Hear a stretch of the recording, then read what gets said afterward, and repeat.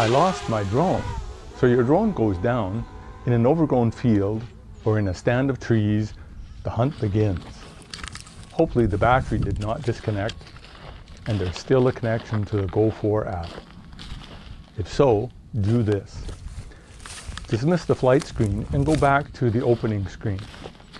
Touch the three bars in the top right and select Find My Drone. The map will show the drone's last GPS position.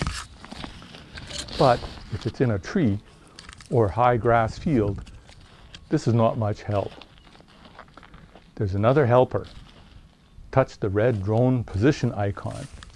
A tab opens with the exact GPS location.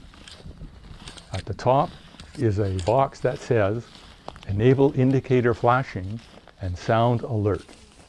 Hit this and listen. The beep will lead you to the drone. I hunted for 19 minutes in a field with no luck. Activating the beeper, and in 20 seconds later, I found my drone. Now, if the drone is no longer powered up, all is not lost.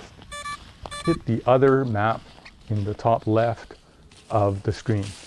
It will open your map app where you can make a detailed path to follow to the drone's last GPS position. Not as good as the beeper, but at least it gets you into the ballpark infield to find your drone.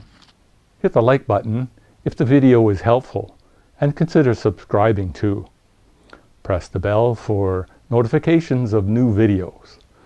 I promise not to overload your notifications.